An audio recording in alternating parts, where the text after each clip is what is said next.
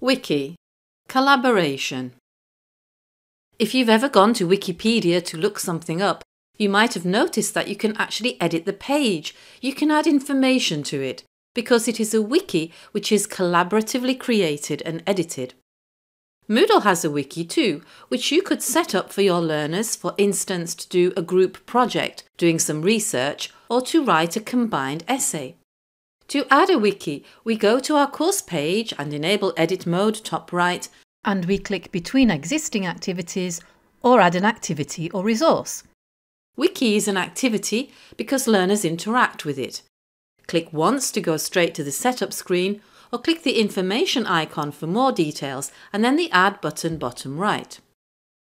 The name is important because it's what the students will see on the page to access it. And then you can give a description of what you want them to do in the wiki and you can tick the box display description on course page.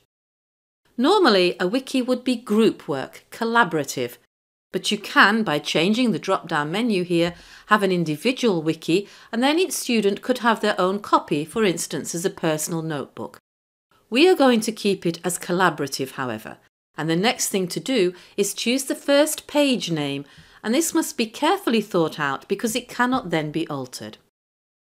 There are other settings worth exploring, for example, activity completion, if we want to track that students have accessed the wiki, do we want them to manually click to confirm they've seen it, or do we want it automatically marked complete when they've simply viewed it? To alert course participants that a wiki has been added or updated, click Send Content Change Notification. After clicking Save and Display, we start the wiki by pressing a button to create the page. If you don't understand any of the other formats, just leave it as default, it's fine. And now we have our first page of the wiki. To set up links to make the other pages, you put double square brackets around the name you want to give the page. So here are a couple of examples. And this is how your learners would also make new pages on the wiki. When we scroll down and save, we see that we have links, but these aren't yet pages until we actually click onto them and create those pages in the same way that we made the first page. So if we click on the reading link, we're then prompted to create the page and we can start adding information to it. This is how your students would then add text and information to a new page. Let's scroll down, save that page and take a look at some of the other links in a wiki from the drop down.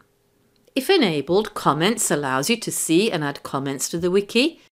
History is a useful way of the other learners and the teacher seeing who has changed what on the wiki, and in case of any problems, that's a handy page to go and revert changes. Map takes us to pages which have been created and we can access them from there.